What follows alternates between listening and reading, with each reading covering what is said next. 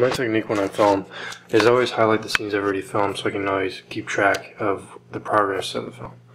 And so far we're doing pretty good. We got a lot of the scenes done. I think we're about halfway. And then I usually do is I plan out the film shoots ahead of time and I try to keep track of the days, how many days we possibly have left to film so I can see if we need to film more scenes in one day or if we can take our time. Just like my film journal kind of thing. It's where I plan out and outline films before I write the scripts. Or if I want to rewrite something, so I use it for also for film shoots. Sometimes I'll think about a scene we just shot, like the Fallout gunfight, for example.